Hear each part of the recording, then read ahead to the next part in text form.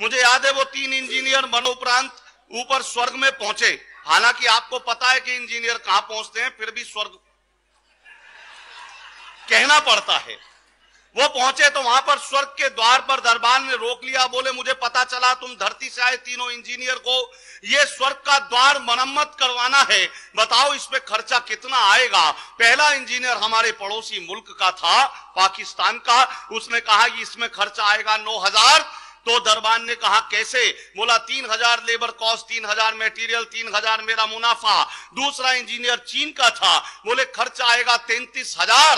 दरबान ने पूछा, कैसे? बोला, ग्यारह हज़ार प्रॉफिट ग्यारह हज़ार मेरा मुनाफा, ग्यारह हज़ार लेबर, ग्यारह हज़ार मेटीरियल फिर अपना एक भारत का दिल्ली का पहुँचा हुआ था। उससे पूछा, बोलो, इस द्वार को ठीक करने में खर्चा कितना आएगा? बोला, ऐसे जुगाड़ तो धरती पे किए हैं मैंने बहुत तेरे। बोला, खर्च आएगा उनतीस हज़ार, जिसमें दस हज़ार तो तेरे।